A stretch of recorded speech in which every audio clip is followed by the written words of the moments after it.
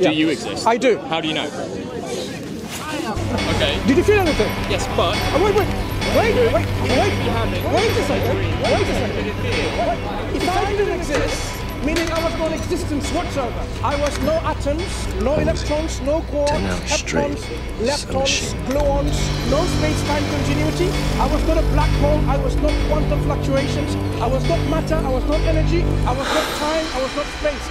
If I was totally non-existence, would you have felt it? And I apologize for pushing you. you are assuming all of these Show things me. are real. No, no, no, no, no, no. Suppose This I is a don't sparring exist. program. That's what I'm asking. If Similar to the exist, programmed reality of the Matrix. it? That push. It has the same basic rules, rules like gravity. Your What you must learn is that these rules are no different so than the rules of a computer exist, system.